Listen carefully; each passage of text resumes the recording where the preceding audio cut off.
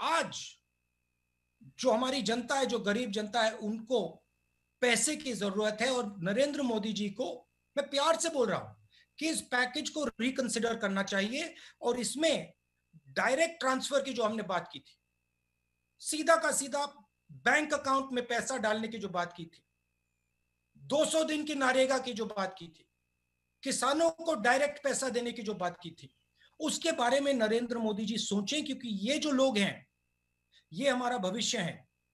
इन्हीं लोगों ने हिंदुस्तान को खड़ा किया है।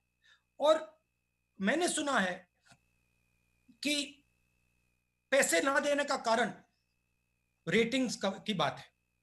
कहा जा रहा है कि अगर हमने आज थोड़ा डेफिसिट बढ़ा दिया तो जो बाहर की एजेंसीज हैं, वो हिंदुस्तान की रेटिंग डाउन कर देंगे और हमारा नुकसान होगा। और मैं प्रधानमंत्री जी से प्यार से कहना चाहता हूँ कि हमारी जो रेटिंग है, वो हिंदुस्तान बनाती है।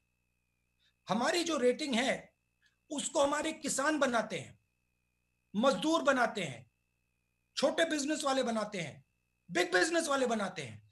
आज उनको हमारी ज़रूरत है, उनको पैसे की ज़रूरत है। रेटिंग के बारे में आज मत सोचिए।